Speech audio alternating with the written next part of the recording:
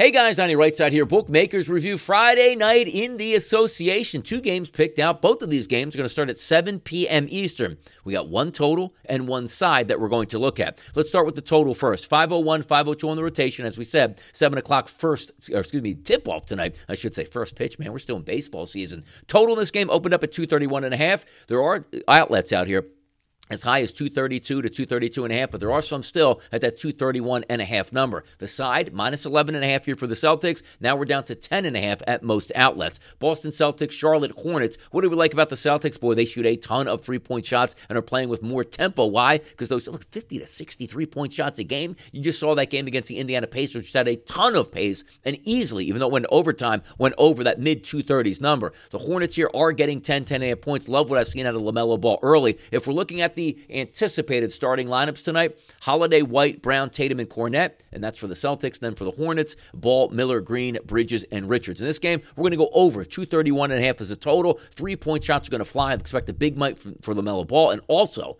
you take a look at my goodness, can anybody stop Jayson Tatum? The guy's shooting 15 plus threes a night, it seems like, and making them at a decent clip. So I think we're getting the total. We'll go over 231 and a half. Game number two, 505, 506 on the rotation. Also a 7 o'clock start. That's between the Magic and the Cavaliers line opened up at six. Now some outlets showing seven and even as high as seven and a half. Make sure you're shopping around, getting the best pricing here. Total opened up at 217, now sits there at 218, and some outlets even as high as 219. But we did get information for the Orlando Magic. Their young superstar player out of Duke, Paolo Banchero, is going to be down four to six weeks. So their anticipated starting lineup tonight: Suggs, Caldwell Pope, Wagner, Isaac, and Carter Jr. And then for the Cavaliers, that is Garland, Mitchell, Wade, Mobley, and Allen. For me, it's pretty simple. Going to buy against the Orlando Magic. Quality team. The Cavaliers haven't lost on the season yet, and I don't think they will tonight. I think there's a possibility of a double digit win for the Cavaliers at home after they just dispatched to the Lakers. I'm going to lay the seven points in that game as the home favorite, Cleveland Cavaliers. I'm Donnie Rightside for Bookmakers Review, and as always, good luck on those wagers.